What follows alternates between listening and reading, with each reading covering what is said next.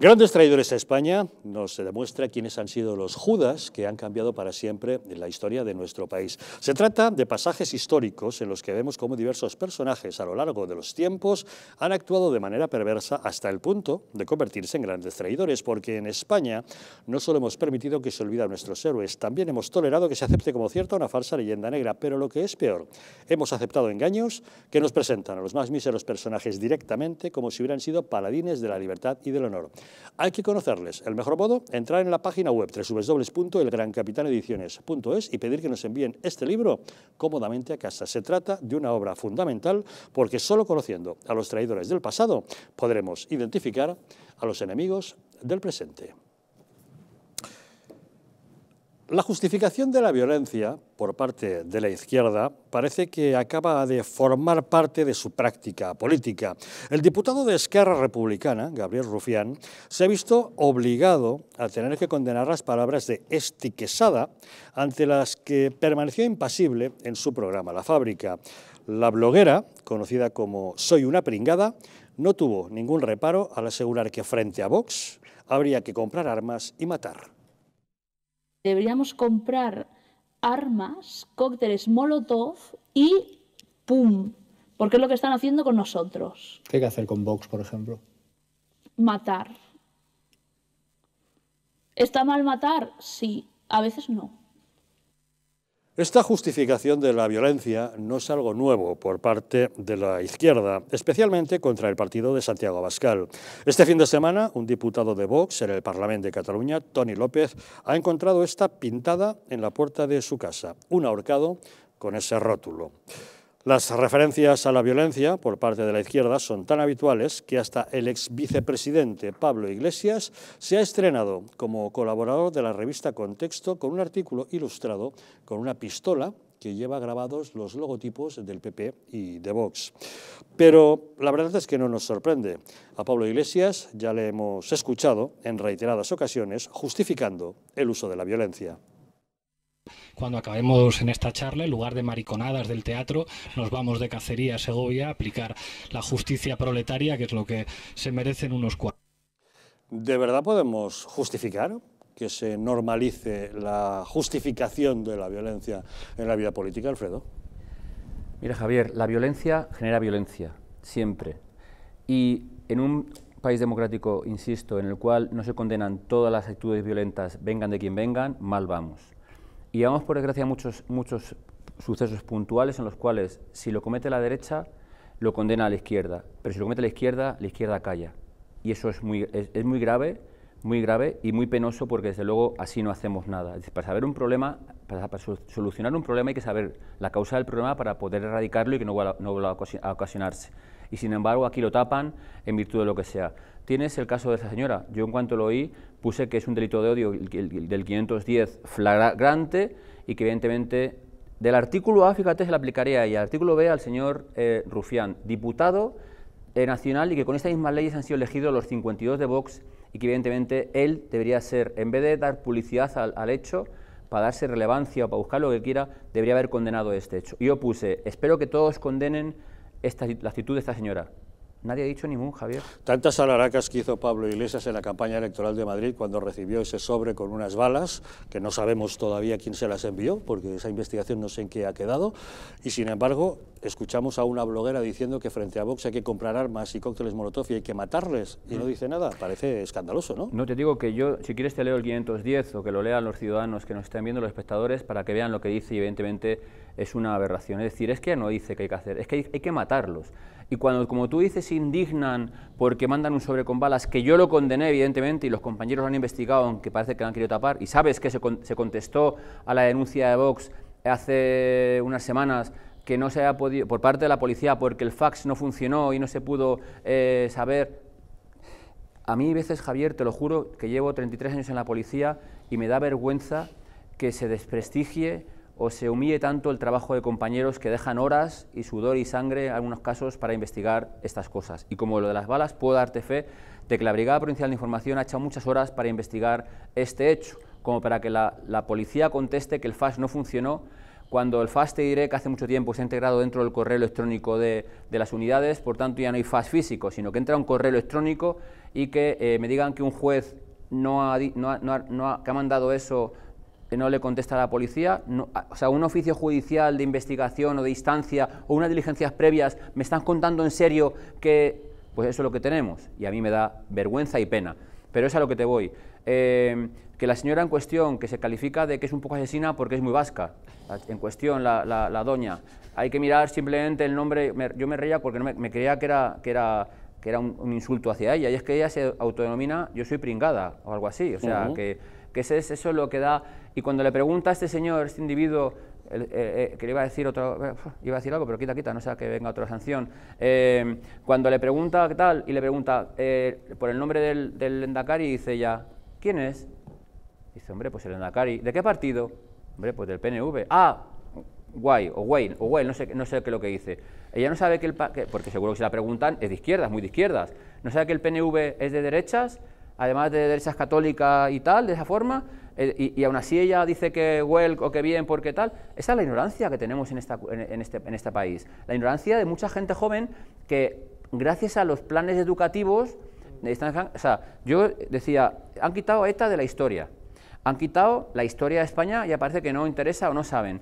Esta mañana ponía eh, como ejemplo un programa, bueno, hicieron un documental sociológico en el cual eh, se puso un, presentador y un cámara en, Atocha, iban con banderas republicanas. Iba preguntando a la gente joven que subía para hacia, hacia Neptuno, le preguntaban, oye, perdona, ¿sabes qué supuso para España la Primera República? No. ¿Sabes qué supuso la Segunda República? No. ¿Por qué lleva la bandera de la República? Ah, porque la llevan mis amigos. Este es el sentir de mucha gente, que no tiene ni idea de nuestra historia de España y es lo que pasa. Y pongo otro ya, el nombre aquí para que comentéis.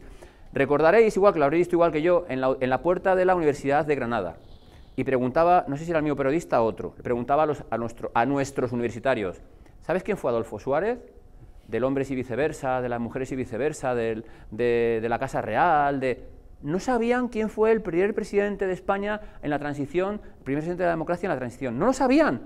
Por tanto, ¿qué estamos haciendo o qué están haciendo mal nuestros políticos para que esta señora pueda decir que a 52 personas elegidas democráticamente dentro de un partido legal, dentro de un partido eh, eh, eh, evidentemente votado por todos los españoles, que diga que es que Otegui, condenado por terrorista, diga que es el mejor hombre del mundo?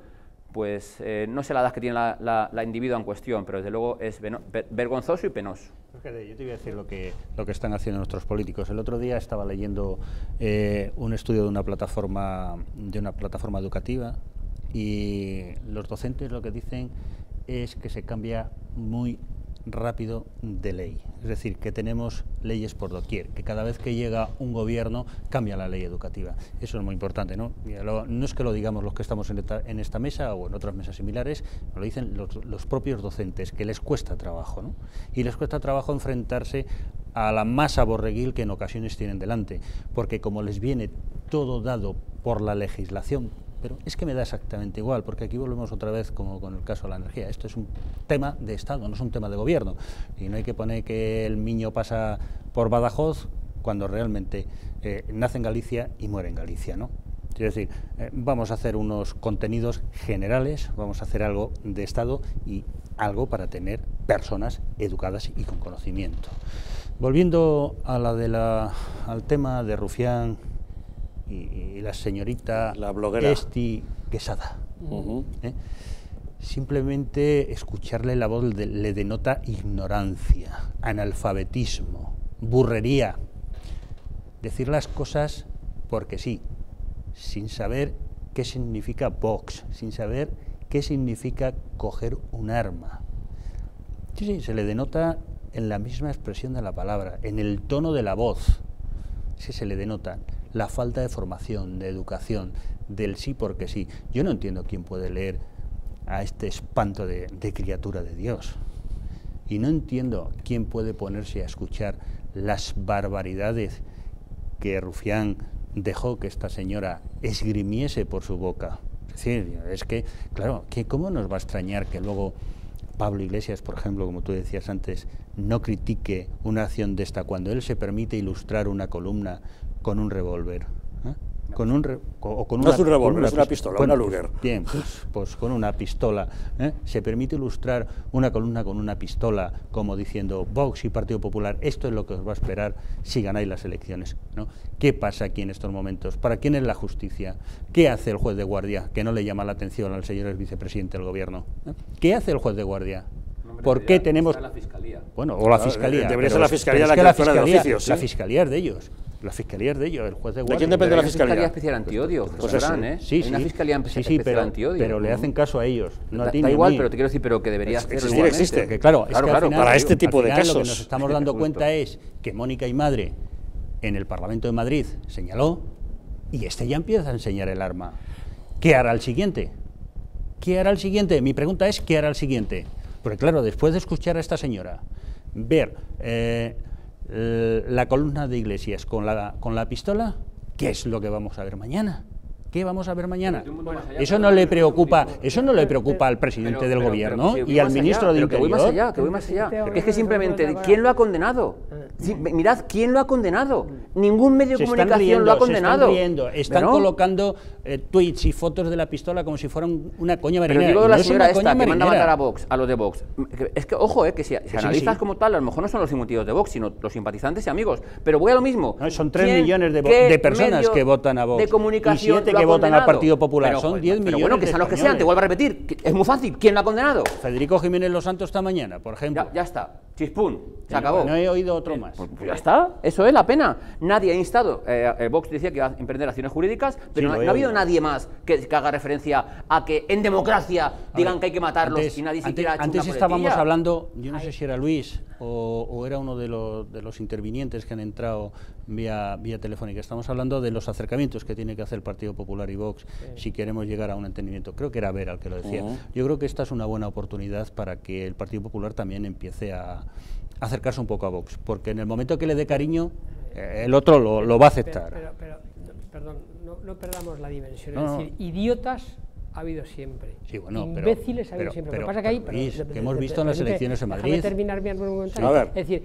hay, evidentemente, las nuevas tecnologías lo que permiten son muchos escaparates en donde cada vez hay más idiotas para llamar más la atención. Esto, aparte de ser idiota, es una perso- un personaje que, evidentemente, la justicia tendría que actuar, como bien dice Alfredo, de oficio para, para, para recriminarla, condenarla o, por lo menos, intentar eh, llamarla la atención. Pero lo peor de ahí, de este, de este es él. él es diputado, es diputado nacional. Ese señor tendría que haberla inquerido decir, oiga, mm, por favor, no diga usted estas barbaridades en un programa que lo Luis, se te está cayendo el micrófono y así Eh, dejaremos de escucharte. eh, eh, sí, pero has visto que Rufián finalmente se ha visto obligado a, a distanciarse en una entrevista en la sexta noche y se ha visto obligado a condenarlo y a borrar esa entrevista por la presión recibida.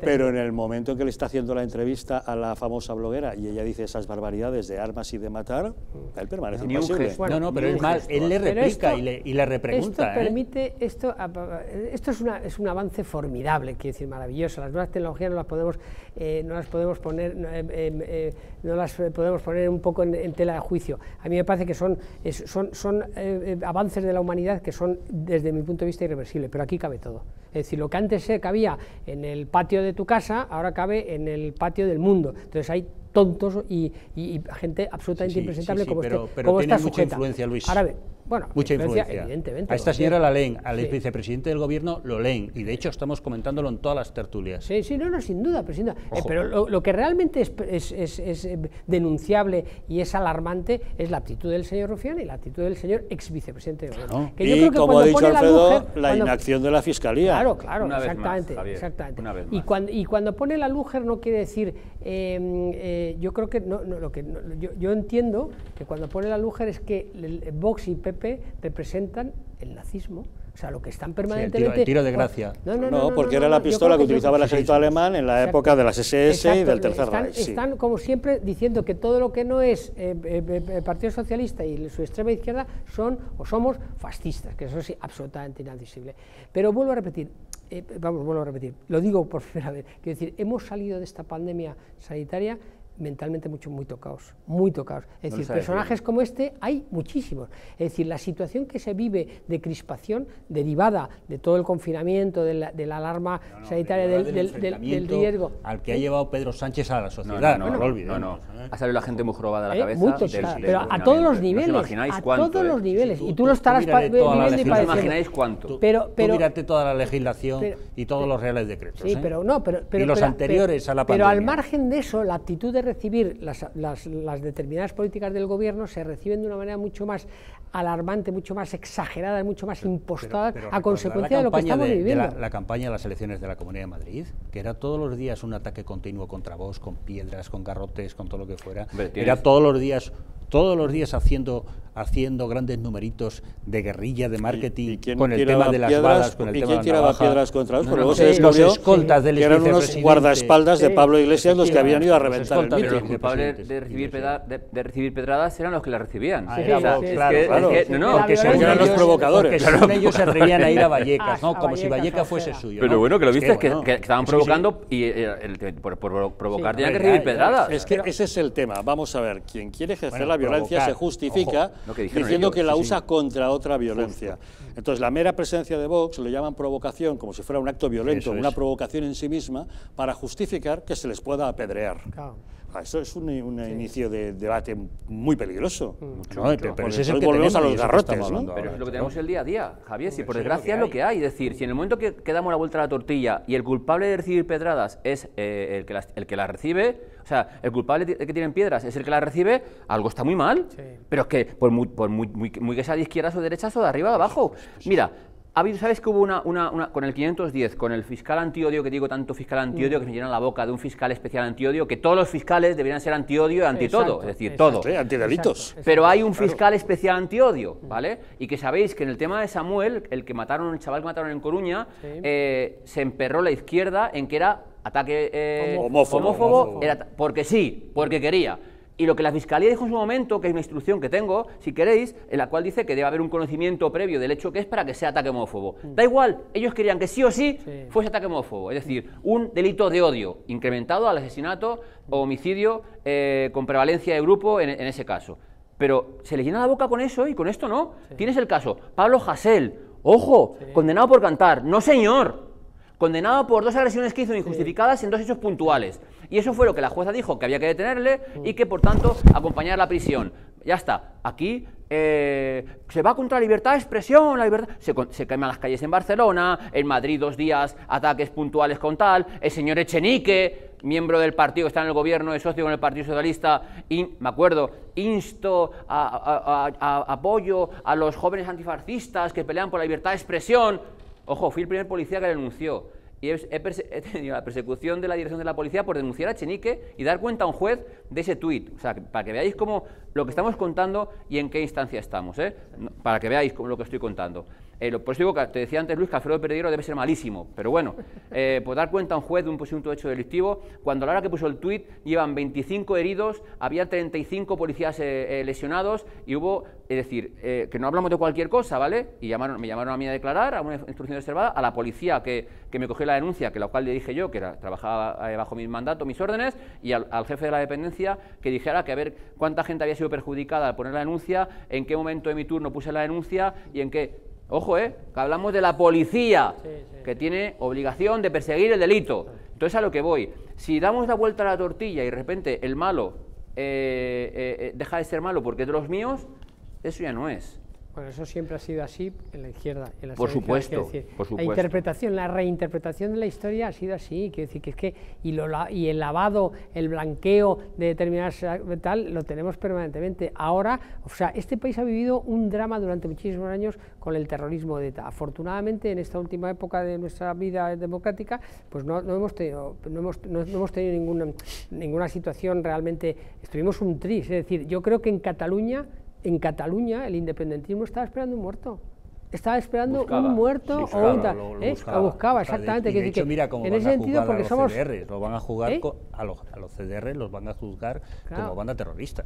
Claro, quiero decir Pero que. en- 10, vamos, fueron los detenidos que hicieron como Sí, respecto a esto guerra Pero civil. tenemos, los medios de comunicación tenemos la obligación de desactivar individuos o individuos como esta y poner en la lupa a quienes son sus responsables, que son los, los responsables políticos, como el señor Rufián o como el que decir el señor vicepresidente o ex vicepresidente del gobierno. Qué Que ellos son los que tienen que bajar el suflé, no podemos, no podemos dicho estar. Los este medios país. de comunicación no apesebrados, que quedan pocos. Hombre, claro, cada vez menos, sí. Lo que pasa es que la ventaja que tienen las nuevas tecnologías es que también cada vez hay más medios, que decía, afortunadamente antes se daban solamente los medios de papel y los que podían sobrevivir, y ahora gracias a las nuevas tecnologías y a, lo- y a- y a- y a empresarios que tienen el coraje de ir hacia adelante, pues hay medios como en este caso, como el Distrito o como otros muchos medios que se ven en, en las, en, la- en- en los las, eh, soportes digitales. Pero bueno, en cualquier caso, volviendo, es decir, nuestra obligación también un poco es bajar el suple, es decir, este país ha vivido y vive permanentemente en las trincheras, pero no desde la guerra civil, sino desde antes. Entonces, vivimos en las trincheras, nos hemos acomodado a eso, pero tenemos que Pero es bajar que un poco el Ya no nos acordamos de la vicepresidenta Carmen Calvo, que tenía todos los días a Franco en la boca,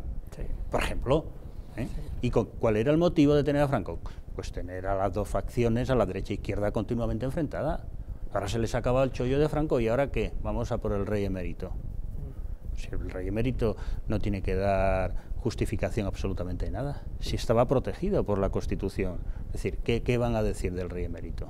Empiecen a soltar los miles de millones de euros que se han gastado en Andalucía. O si tanto hablan del rey emérito, ¿por qué no hablan de Felipe González? Pero da igual, Bueno, se no, puede- Y de los negocios de Felipe- González en los años No te vayas 80. a Felipe González. Claro. Vete al señor Zapatero, Sí, o mucho más Pepe cercano. Pepe Bono. Con el tema de Venezuela. O, por ejemplo, decir, José vete- Bono. es decir, no te vayas tan lejos, no te Bueno, vayas a la pero- historia pero tan sí, lejana, no, a más ellos, cercana. ellos están buscando en la historia de, de Juan Carlos I, Mm. ¿vale? Eh, cuando co- comenzaba la, la joven transición, cuando España adquiría determinados contratos energéticos o petrolíferos o gasísticos, y, ellos están aludiendo continuamente a eso, a lo que hay ahí detrás, a lo que se supone por qué se enfadó Suárez con el rey a partir de los años 80 y todo lo demás. Y dicen deducir que se llevó una serie de comisiones.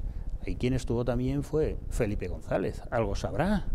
Que vayan a Felipe hablamos de odio, no hablamos del rey, emérito. Mm. Es que os dispersáis de, de- de- de- no sé por qué, eh, con una- es una cosa puntual y, y No, pero- sacáis pero y luego a a, la gente la equivocáis, leche. No, que- no, que yo no equivoco dice, a nadie. ¿pero Yo estoy hablando de, que no, de Fran, odio. ya yo lo estoy sé, hablando de odio. pero- Estoy hablando del odio de Carmen Calvo. Bueno, bueno, de eso hay- pero bueno, No, de- no, de- no, no, es que el odio de más, Carmen ¿eh? Calvo lo que hace es enfrentar a la sociedad. Se nos termina algo para enfrentar a la sociedad, vamos a buscar otra manera de enfrentar.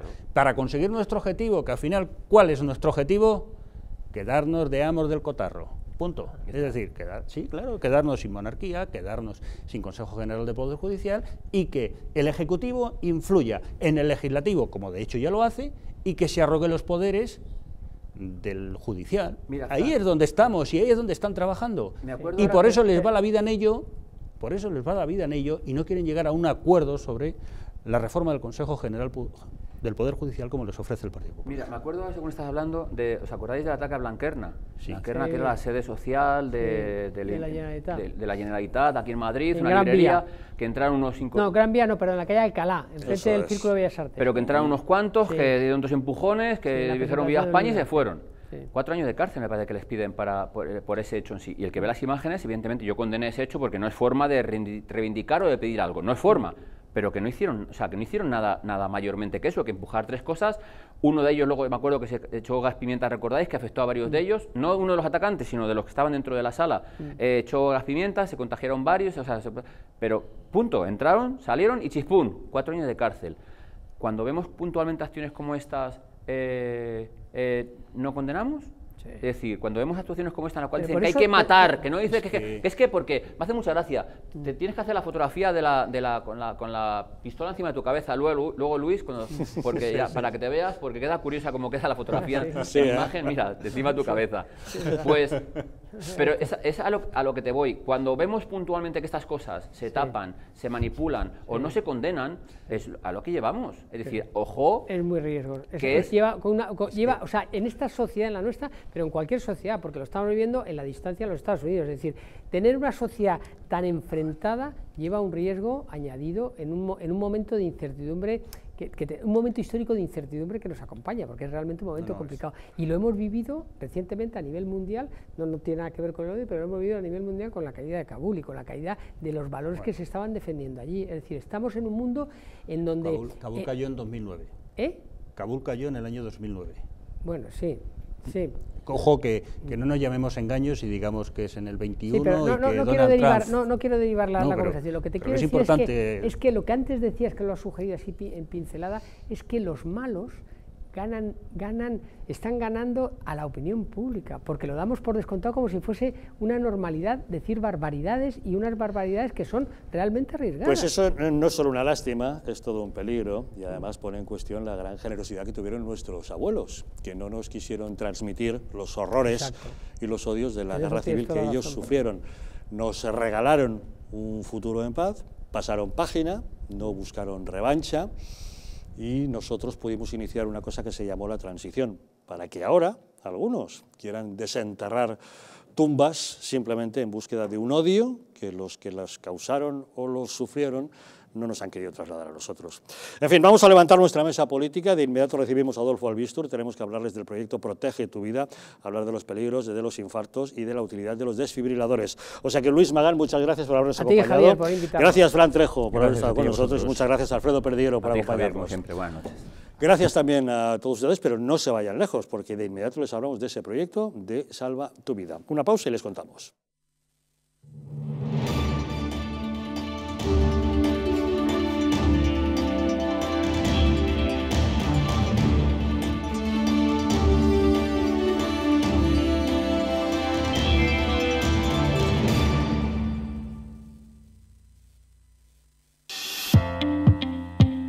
Empresa de bioingeniería española llamada Bio, tras ocho años de investigación orientada a alargar la vida de las personas, ha creado una unidad de regeneración celular para usar en el hogar que está dando unos excelentes resultados.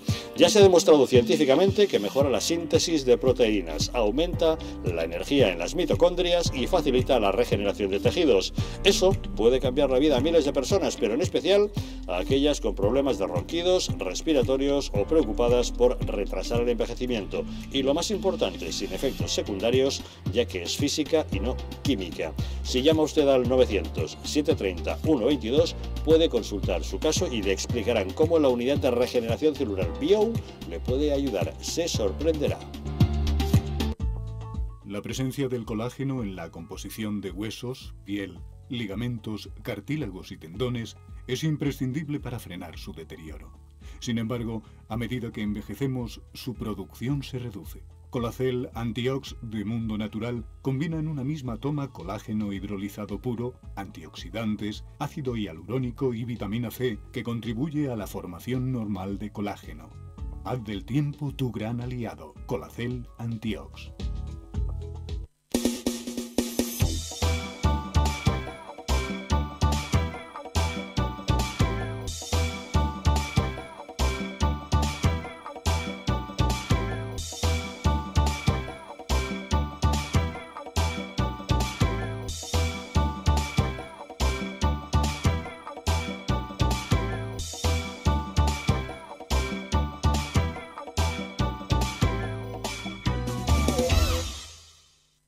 Estilo de vida saludable, la dieta y el ejercicio físico ayudan a disminuir los niveles de colesterol. Divecol Forte de Mundo Natural contiene cardo mariano, coenzima Q10 y levadura de arroz rojo que aporta 10 miligramos de monacolina K que contribuye a mantener niveles normales de colesterol sanguíneo. Protege tu corazón, protege tu salud. Divecol Forte de Mundo Natural. ¿Quieres dormir tranquilo sin pensar en si cobrarás tu alquiler? Con nuestro servicio de gestión integral podrás olvidarte de tus preocupaciones porque Arrenda se encarga de todo, pagándote el día 3 de cada mes sin excusas. Si tienes una vivienda alquilada o estás pensando en hacerlo, contáctanos. Arrenda, el alquiler seguro y garantizado. ¿Sabías que en España hay 30.000 muertes por infarto cada año? ¿Sabías que después de un infarto, cada minuto transcurrido disminuye las posibilidades de sobrevivir un 10%? ¿Sabías que una ambulancia de media tarda en llegar a nuestra casa entre 10 y 12 minutos, produciéndose 3 de cada 4 infartos en nuestro hogar? Nace en España el proyecto Protege tu vida con el objetivo de salvar más de 7.000 vidas al año. Ahora, salvar tu vida depende de ti. Crea en tu hogar un espacio cardioprotegido con el mejor desfibrilador y de fácil uso. ¿Qué precio le pones a tu vida? Llama ahora al teléfono 900-730-061 o entra a nuestra página web www.protegetuvida.eu y verás que proteger tu vida cuesta muy poco. ¿Cuál es la razón para creer hoy en el periodismo? La razón es tener el pulso de la actualidad. La razón es ir más allá de los hechos, es hacerse preguntas y es exigir respuestas, es ilusionarse y es investigar, es asombrarse, es comprometerse, es mirar al futuro. La razón para creer hoy en el periodismo es estar bien informado, es contar con una opinión de calidad, es tener unos principios y defenderlos. La razón, creemos en el periodismo. ¿Estamos en un auténtico Estado democrático o estamos en una patritocracia? Porque este programa se hace para ustedes. La ciudadanía está quedando atónita a lo que estamos viendo. Vamos a ver cosas que nunca se imaginarían. Lo que ha pasado en España demuestra que Falconetti no es tonto. Que la democracia, ¿qué es lo que es, amigos? El imperio de la ley. Esta izquierda rancia lo que quieren es exterminar todo aquello que no piensan exactamente igual. El castigo va a ser terrible para todos los partidos. Recuerden que no les engañen, porque la verdadera libertad consiste en estar bien informados.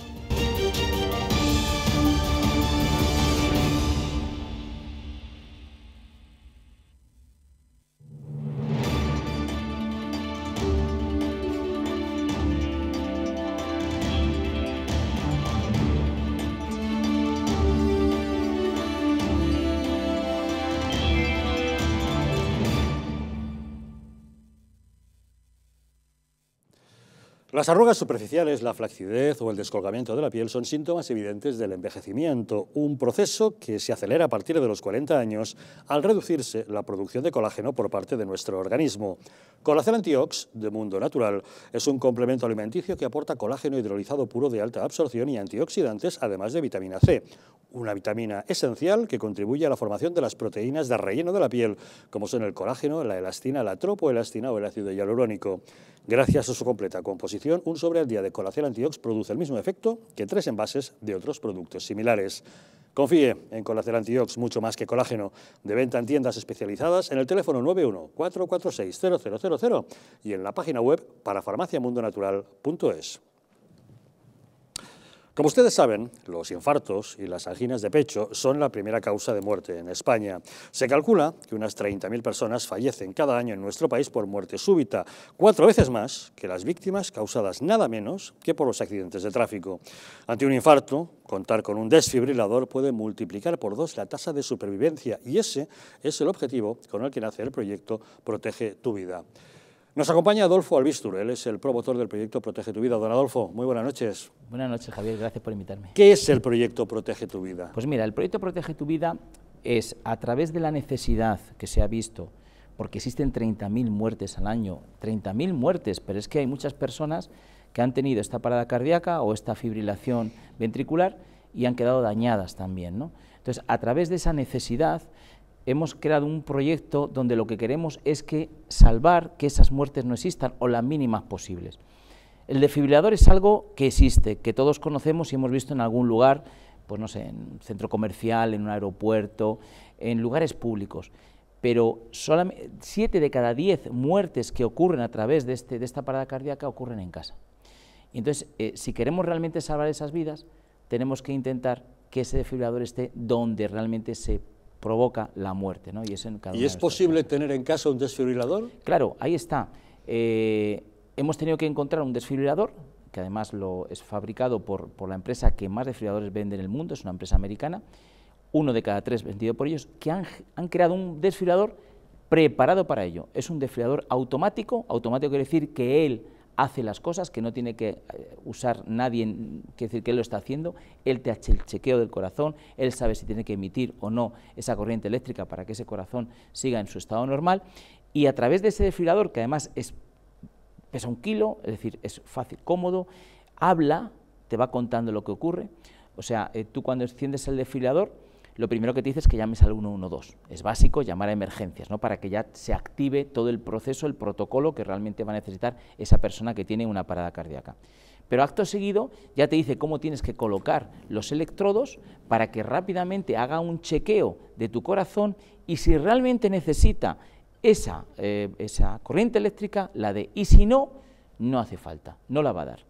O sea que no tenemos que tener miedo a que ponerlo si esa persona, imagínate que ha tenido una lipotimia o un mareo y está con el corazón bien, porque el desfibrilador no va a actuar. Pero si va a actuar, te va a decir, apártese, entonces empieza a actuar él. Va a actuar las veces necesarias para que ese corazón vuelva a coger el tono normal o más o menos normal para que no se provoque la muerte o la muerte total o la muerte cerebral. En caso de que se produzca un infarto, ¿en qué porcentaje de capacidad de supervivencia podemos entrar si actuamos rápidamente con un desfibrilador?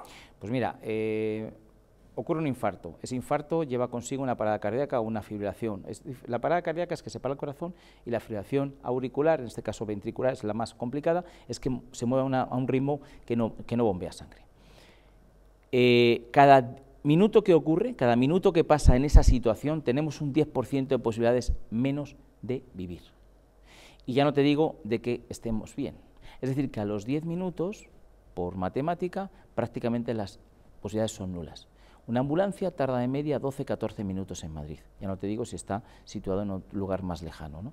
Bueno, pues realmente como no son, por eso normalmente cuando hay una parada cardíaca o hay una, mm, o una filación eh, es difícil normalmente los, médicos de urgencias llegan prácticamente pues eso, a decir que el En caso de parada cardíaca, el desfibrilador hace que el corazón vuelva a latir. Eso es. Y en caso de fibrilación, hace que el ritmo se compense como debe ser para funcionar y bombear la sangre normalmente. Hay dos fibrilaciones, la auricular, que esa es menos grave, porque no es donde está el bombeo real, y la ventricular, que esa es gravísima. Cuando se empieza a fibrilar, es como cuando sube muchísimo, todo lo hemos visto en las películas, hay fibrilación, entonces es que sube muchísimo la tensión, se, ponen las, los latidos a 150, 160, 170, ese corazón está en un ritmo que no bombea. Y entonces ya, claro, eh, es lo mismo que no bombea o que esté parado, las consecuencias van a ser las mismas. Entonces, en ambos casos, lo que va a hacer el, el desfibrilador es provocar que el ritmo que coja es normal. Puede haber un infarto, luego podrá tener que haber una actuación donde haya que poner a lo mejor un stem, porque ha habido pues eso, cualquier problema, pero lo que es en ese momento lo salvamos. Además, querría decir, a las personas que tienen incluso marcapasos, es, compatible el desfibrilador, porque en el caso de que ocurra esa parada cardíaca, que a lo mejor un marcapaso está más controlado o esa eh, fibrilación, no importa que el marcapaso se, se estropee, lo dicen los médicos, lo interesante es que ese corazón no se pare, que ese corazón siga latiendo y ese corazón no, no, no, no haga que la vida eh, nuestra prácticamente sea, sea nula o que la perdamos en, en 10 o 12 minutos.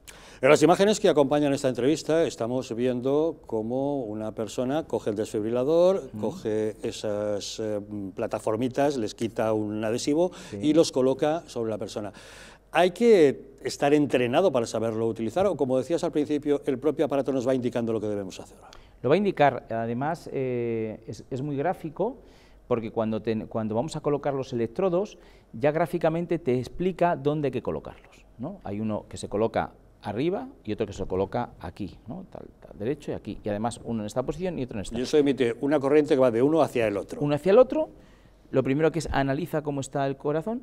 En el caso de que el corazón necesite esa corriente, te va a decir verbalmente, te va a avisar, eh, te va a avisar eh, apártense, porque evidentemente si estás puedes llevarte tú la, corriente también, y una vez que esto, dala. Al cabo de un rato, él sigue analizando continuamente ese corazón, por si es necesario, volver a dar otra corriente, otra corriente. En el momento que ese corazón ya está estabilizado, él ya para siga analizando hasta que vengan los servicios y puedan, eh, bueno, de alguna manera, ayudar a esa persona en los siguientes pasos que ya son más en, el hospital. Todos hemos visto desfibriladores en lugares públicos, en grandes almacenes, en comercios, en edificios de oficinas, mm. con indicaciones de dónde encontrarlos, cosas por el estilo. Pero es realmente novedoso que nosotros tengamos el nuestro propio en casa. Es además un aparato pequeño que además es portátil. Podemos llevarlo con nosotros si nos vamos de viaje, de fin de semana o algo así. Sí, sí, es portátil, pesa menos de un kilo y efectivamente eh, yo lo tengo en casa, eh, tengo que estar, saber dónde lo tengo ubicado, porque en cualquier momento que pueda ocurrir, pero luego yo me voy a mi casa de fin de semana o me voy de vacaciones y tal, y ese claro no ocupa nada, entonces yo lo llevo en mi coche y me lo llevo, porque bueno, nunca sabemos si nos puede ocurrir en otro sitio. Em, nosotros queremos concienciar mucho a las personas de la importancia de esto. Es verdad que nosotros ahora mismo hay muchísimas personas ya que tienen en su casa el desfibrilador, porque eh, tenemos una demanda enorme son personas que normalmente ya han tenido algún tipo de cardiopatía. Normalmente son personas que dicen, bueno, yo es que yo un infarto y claro, yo sé lo que es esto, pero, pero también pensad aquellas que, que tenéis que prevenir. Las subidas de tensión, eh, el estrés con el que vivimos, todo eso puede provocar, y si se provoca una parada cardíaca es muy difícil que nos salvemos si no tenemos un desfibrilador, porque la primera actuación es una actuación eléctrica, es decir, hay que ese corazón hay que ponerle en funcionamiento. Luego ya habrá químicas, habrá otras, si se sabe hacer eh, todo lo que es el, proceso de las paradas cardíacas, pero lo importante al principio es dar esa electricidad. Por eso, eh, de verdad, o sea, aunque no tengáis una cardiopatía, aunque no tengáis, eh, no seáis hipertensos, si lo sois evidentemente ya os hace muchísima falta, pero si no, prevenir. No pasa nada, lo tenemos en casa, si no se usa, muchísimo mejor muchísimo mejor. Ojalá. Nadie queremos eh, usar el seguro del coche, nadie queremos eh, eh, utilizar, si tenemos un, bueno, pues un seguro de estos de accidente de, o de invalidez. o, un extintor para apagar un, incendio. Extintor, pero, pero, pero es que el corazón es lo que mueve todo. Hay mucha gente que le pueda preocupar, bueno, pero yo tengo este aparato en casa y esto requerirá un mantenimiento, unos cuidados determinados. ¿Qué, qué compromisos adquirimos en el momento de tenerlo en casa? Pues mira, me hace mucha gracia porque las personas, bueno, ¿y dónde tengo que enchufarlo? Esto no se enchufa en ningún sitio. Esto lleva una batería que dura cuatro años, a los cuatro años se revisa, se cambia y se cambian los electrodos. Solamente en el caso de que se haya usado en un momento determinado, sí que hay que avisar, mira, se ha usado y se cambian los electrodos, pero la batería dura cuatro años. Tiene un, un pequeño, bueno, un pequeño sensor eh, que se enciende y se apaga, para que en cualquier momento yo vea que la batería está bien, pero va a estar, pero tenemos cuatro años de, sin tenernos que preocupar de nada. Lo único que tenemos que saber es dónde está, porque si hiciera falta, ahí lo tenemos. Y además también ocurre, porque claro, ya son muchos los que tenemos eh, instalados en casas, y, vecinos, que se lo dice, o sea, nosotros al final estamos en la comunidad de vecinos, pues oye, mira que tengo esto, si os ocurriera cualquier cosa, los vecinos lo saben, ¿no? Y eso es muy importante, porque mañana le ocurre a mi vecino y oye, pues, pues sabe dónde puede, asistir, porque el vecino le va a pasar lo mismo, la ambulancia no va a llegar hasta dentro de tal. Y, no sabes, Javier, los médicos de urgencia lo que nos agradecen que estemos haciendo esta, esta labor, porque para ellos llegar y certificar una muerte, como que no pero para ellos llegar y ver que la persona todavía ese corazón está latiendo y pueden ya hacer su actuación como médicos, pues es maravilloso. El desfibrilador, como has dicho, una vez se ha utilizado en una ocasión, deben avisaros para que eh, os encarguéis de sustituir esos electrodos que son de un único uso. Claro, claro sí, los electrodos sí, porque hay que pegarlos, etcétera, son de un único uso, la batería no, pero bueno, una vez que ya se ha utilizado, pues los suyos hacen una revisión, nosotros lo revisamos, recogemos y dejamos uno, ¿vale? Que nunca esté esa persona ese desfibrilador. ¿Eh? O sea, recogemos uno, se revisa que todo esté bien y dejamos, y dejamos otro. Se cambia electrodo, se revisa todo y ya está. A la gente le puede preocupar lo costoso que pueda ser un aparato de este tipo, por eso yo te querría pedir, podemos tener un detalle con los espectadores de los intocables, alguien que llame diciendo que llama de parte de los intocables, tener un gesto con ellos. Pues mira, vamos a tener un gesto eh, muy importante, porque ahora que estamos en plena campaña y, para, para los intocables, queremos que tengáis un 30% de descuento. Es decir, si nos llamáis al teléfono que está en pantalla, decís que nos habéis visto en los intocables, muy importante, os vamos a hacer un 30% de descuento para que realmente tampoco sea el pero no tener un desfibrilador por el precio, sino que lo tengáis, porque de verdad, o sea, mm, si, si lo usas, ojalá no, pero si lo usas y has salvado tu vida o la vida de algún familiar tuyo, creo que esto vale mm, ya todo. Pues ya lo saben, 900-730-061, llaman, preguntan, se informan, digan que llaman de parte de los intocables que tendrán un 30% de descuento.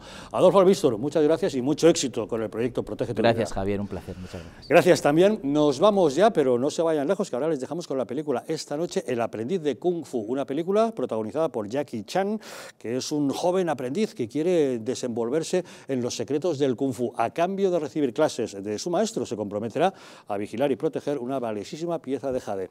Disfruten de la película. Nosotros les esperamos mañana nuevamente aquí, en Los Intocables.